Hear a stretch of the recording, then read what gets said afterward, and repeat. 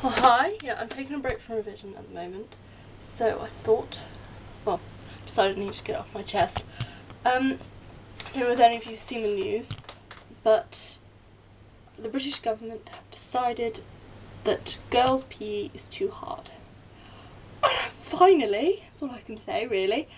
Um, it's taken them long enough to realise, and that girls don't like PE whatever happened to the boys? Boys don't like PE. Some boys don't like PE either. Also, our school is a, um, a, a PE technology school. Um, it's a PE college, and we only do we only do we only do certain sports. We don't do swimming. Bear in mind we've got a swimming pool on the doorstep, um, and we don't. We have a perfectly good gym. We don't use that. We also have we have loads of brilliant facilities, and we only do netball, and hockey and rounders and cricket and that sort of team sport. We don't do any. I, have heard that other schools do self defence. I'd love to do self defence. Seriously, I did. I'd probably like love PE then.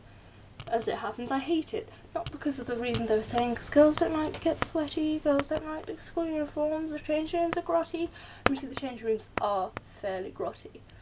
But just, but the rest isn't really very true. Um, well, not for me anyway.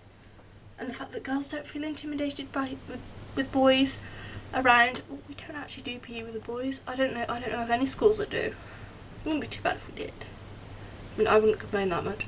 Um, mainly because I don't. I don't. I'm not that self-conscious. Yeah. There's also there's other things that are really annoying as well.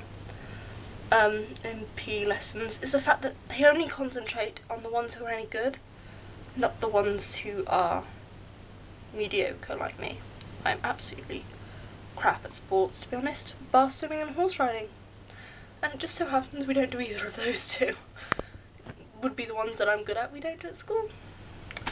Um, so that was basically it for today. Sort of my rant. I'm gonna try and do videos every day. Um, just really because it gives me a break from revision. You know, you can, uh, the human brain can only, apparently can only concentrate for half an hour, so it gives me a little break in between. um, so I'll see you next. I'll see you soon. Um, comment, subscribe, and see you soon.